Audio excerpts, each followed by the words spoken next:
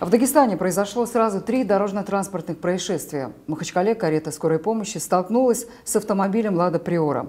Пострадали четыре человека, которых госпитализировали в больницу. Также накануне в Бабаюртовском районе рейсовый автобус столкнулся с внезапно выбежавшей на дорогу коровой. Общественный транспорт двигался по маршруту Махачкала-Москва. В результате водитель и один из пассажиров с различными травмами доставлены в больницу.